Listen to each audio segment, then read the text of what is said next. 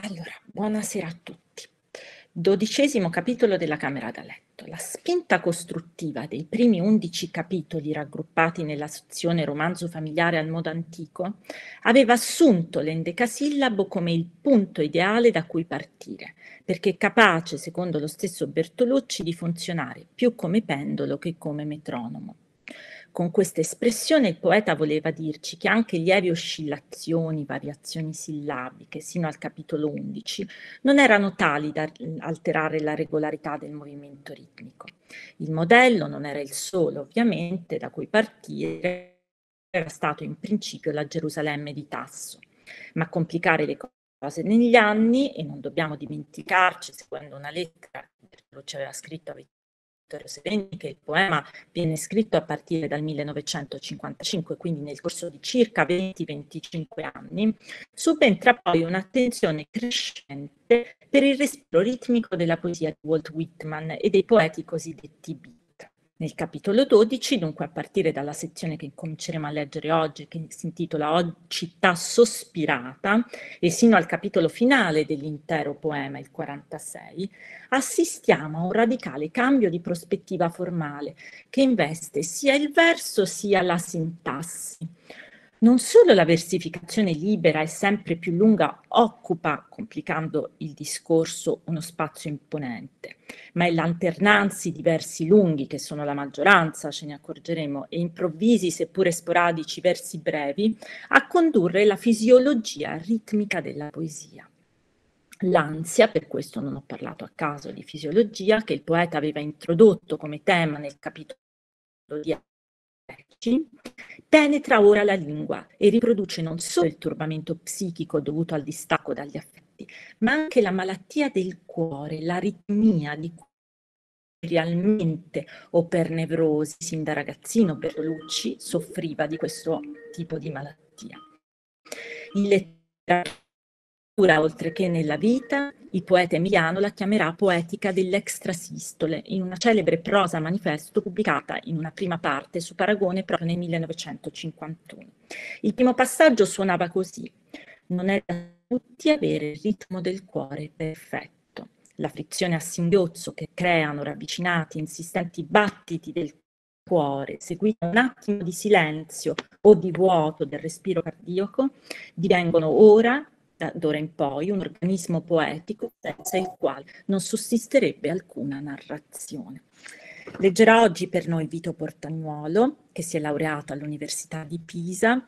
Da poco lo ringraziamo per questa sua presenza, ha un compito importante abbiamo la speranza che attraverso la sua voce questo singhiozzo di cui vi ho cercato di parlare si senta, si avverta nella lettura, perché è questo tipo di ritmo che dovremo cercare di seguire a partire dalla giornata di oggi. Il contenuto del capitolo non ve lo racconto perché l'argomento me lo spiega benissimo da sé. Grazie. Grazie a voi. Il bambino Attilio abita troppo lontano dalla scuola rurale, cui ha cercato di sottrarsi con un ingegno sotterfugio Così viene rinchiuso nel miglior collegio della sua città, Parma. Lontano dalla mamma, dal giardino, dai campi amati suoi, trova il compenso di un amico, un compagno, più di sogni e giochi che di studi. Già precocissimo lettore di libri d'avventure, già poeta riconosciuto, tale nei termini si dimostra, deve dare un nome a un fantastico manufatto, opera dell'ingegnoso amico e simbolo di un'impossibile fuga. Il ricordo dei fuochi di carnevale, da lui quando abitava in campagna con infantile eccitazione contemplati, non viene compensato dal balletto o mimo in cui lui figura mascherato da giapponesino sotto gli occhi della mamma spettatrice nel bel teatro del collegio. In collegio. Nebbia e nebbia per giorni, ma importa poco a questi che hanno accettato una cattività precoce, perché hanno accettato una colpa, ed essa che li unisce e stringe sul marciapiede abbandonato dalla domenica pomeriggio, gregge da evitare e compiangere, con una punta di derisione nella lunga occhiata. La prima volta che entrarono ebbero il privilegio di un colloquio con chi fu delegato ad accoglierli e si mostrò benigno con tutti, elargendo a ognuno una carezza particolare. Padre e madre presenti, immobili, chiusi in un nastro di luce polverosa da vetri senza speranza. padre e madre giovani, presto animati dall'aria viva di ottobre, da un amore sensuale per il cibo, per il vino dalla chioma di rosa che accende l'ombra della sala interna, cuore riservato del ristorante Macina, ireos di carta ai muri sangue che batte alle tempie. Padre e madre giovani dimenticano presto. Ma una mattina, dopo che la notte passò in un cieco, in un silenzioso scontrarsi di morti e di vivi, tutti vivi in un sogno, fu lo strazio prolungato del risveglio, di un difficile, necessario riassetto, poi il farmaco del cielo celeste dentro gli occhi troppo svegli e assorti. Potrà essere dopo una giornata come tante, spesa in applicazione allo studio, fervore nei giochi, prefigurazione esatta della vita futura, non per te che inquieto volgi la mente in un assillo continuo alla ricerca della gioia impossibile, amore che si appaga di sé, godendo di una gioia altra, in altro. Più tardi, aspetta, essa verrà. Ai confini della disperazione sarà consumato in buona parte il tempo assegnato, eppure teso ancora sulla terra il cotone del cielo, per poco, per quanto sazi la tua fame, e sarà il gioco quieto di un compagno sui bordi assonnanti dell'acqua che va via. A fine ottobre i crepuscoli scendono rapidi, ma qui, dove il canale scorre, sotto le mura alte ed è forse una difesa giunta all'altra, un'irrisione subdola il suo salto non impossibile, il suo letto calmo a paragone dell'impervio mattone. Qui la luce è trattenuta più a lungo, imprigionata dal vallo pietosamente per voi due, mansueti reclusi occidentali, mentre l'ombra già ghermisce i facinorosi un minuto prima raggianti nella mischia d'attorno e sotto e sopra il pianeta di cuoio brunito fra cielo e terra. Ed è proprio all'estremo di quest'ora beata che il piccolo sottomarino si dimostra atto alla navigazione. Infine, il suo artefice lo vara ricordandosi improvvisamente di te e da te vuole un nome. Ma già la corrente lo porta via e ormai fuori del carcere, fuori dove una sera mite, d'autunno, col suo passeggio quasi suburbano, si rispecchia tremando in ombre viola. Non seguitelo nella sua corsa, non cercate con la mente di trattenere l'esile sagoma, artificio ligneo, disperato, messaggio di un'anima che la vita non vorrà risparmiare e perciò oggi le ha concesso pietosa questo fiore. Presto, troppo presto lo scafo troverà la sua solitaria perdizione, la sua fine, e sarà nell'incerto, nell'ignobile scontro di campagne e città, un luogo di scarichi e rifiuti, di ruvidi e tardi fiori blu, tenace legato ad un'estate finita in una terra mortale. Voi sciogliete le mani calde dell'amicizia. Confondetevi agli altri dopo un ultimo sguardo al fosso ormai senza più luce. Provvedete presto alle esequie di un giorno e di un grazioso manufatto nel campo consacrato della memoria. Accettate il compromesso della mensa. Fidate nel rapido, nel giusto avvicinarsi di una lunga notte d'autunno. L'inverno è passato. In un seguito di giorni e notti che soltanto oggi lo sgocciolare delle nevi a un sole quieto e muto rende degni di pietà e di ricordo s'avvicina. Manca ormai meno di una settimana, carnevale che segna una svolta nell'anno, e quando è bel tempo, come spesso accade, la sera destinata ai fuochi anticipa improvvisamente la primavera, prolungandosi il chiaro del cielo da pianura a collina, in maniera inquietante, così da rendere insonni i ragazzi, ora mucchiati, ora dispersi nella raccolta insensata dei sarmenti. E aggiungi, Aggiunge a quest'ora un'ora che i quadranti non segnano.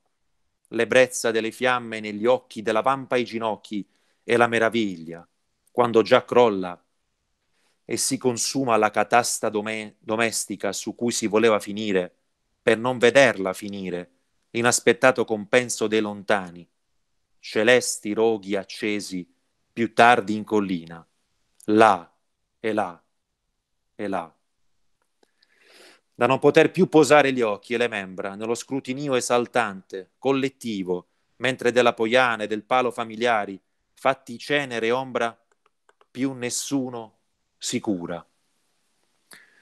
Diverranno sostanza della terra, figure informi cui tu darai forma, nel solitario sole dei mattini a venire. Intanto, per gli eredi degli agrari, le più ricche ambite leve dei collegi e i piccoli spiritati, figli unici di quelle femmine randagie, pellegrine instancabili lungo il regno d'Italia, si prepara un carnevale diverso, al riparo dell'improvviso mutare del tempo, evento non impossibile.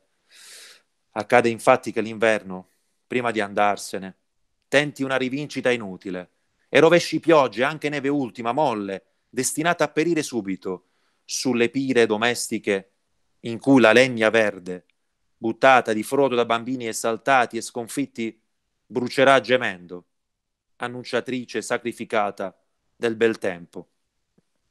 Qui, al chiuso del convitto, la festa si prepara tutti i giorni, alla stessa ora cremisi il crepuscolo cittadino, nell'antro peccaminoso del teatrino interno. E qui non può mancare la, bianche, la bianca, l'abbagliante luce del palcoscenico, la finzione più vera del vero di quelle rose vertiginose dal soffitto ramato incannucciato. Oh madre irraggiungibile, primavera perpetua. Il rossetto sulle tue guance arde e scotta al pari del sole sulle guance nella bella stagione. Tu, socchiudendo gli occhi, fai che si cambi scena. Il giardino orientale diventi parmigiano e le sei della sera le nove del mattino e il brusio dei compagni allineati il grande silenzio d'una pianura d'uccelli di farfalle e di api in un pacifico tempo di fioritura. È soltanto così, perdendoti, che ti salvi, o troppo presto strappato ai baci della luce dalle porte e finestre, alla contemplazione delle formiche in transito, all'ebbrezza dei mezzogiorni frananti dall'azzurro, alle meditative ascensioni serali, a quei richiami inquieti che la nebbia disperde, ai trasferimenti della famiglia sulla neve fragrante, ai lampi delle averse sopra i muri celesti alla vista del tuo sangue nella polvere occidua, alla santa bevanda delle campanule tremule, ai suoi occhi sfuggenti negli incontri improvvisi. Ora la tua mimica timida si confonde con le altre, sfrontate, in un assordare di piatti e di triangoli, in un frusciare di rasi, in uno strisciare di draghi d'oro, poi che il coro cui tu appartieni gira su se stesso allontanandosi e perdendosi in una prospettiva maligna di loti, nella tua nuca i suoi occhi sfuggenti, sfuggenti delirando gli applausi. Grazie a Vito Portagnuolo, spero eh, che almeno la sua lettura si sia sentita chiara ehm, e che un po' della, del commento introduttivo sia arrivato alle vostre orecchie per poter diciamo sentire davvero questo nuovo ritmo eh, in metro che si introduce dentro la lingua dei capitoli a partire dal, dal. Solo qualche indicazione testuale per poter sentire un po' meglio, eh, prima non mi sentivate. Mm. Eh, vediamo se, se, ci sono delle domande, proviamo a riassumere qualcosa. Comunque, dal punto di vista testuale, attenzione ai falò, perché i falò sono un chiaro, in chiaro riferimento a un quadro che era molto importante per Attilio Bertolucci perché ne scrisse nel 1958 sulla rivista Palatina ed è il quadro di eh, Giulio Carmignani dal titolo I falò nell'ultima sera di carnevale sulla Baganza presso Parma Giulio e Guido Carmignani erano due pittori eh, ottocenteschi e il ricordo è legato alla visione dei fuochi accesi sparpagliati nei campi quando il poeta era bambino e adolescente per festeggiare il carnevale nei gli immediati dintorni di Parma. Altra allusione al teatrino che era stato dipinto, affrescato dal pittore Gerolamo Magnani nel 1865 dentro il collegio, il celebre convitto Maria Luigia di Parma, dove